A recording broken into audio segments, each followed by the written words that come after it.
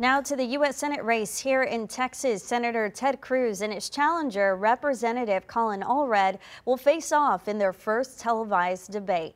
It'll happen October 15th in Dallas, three weeks before the election. Uh, you can watch the debate right here on KENS 5.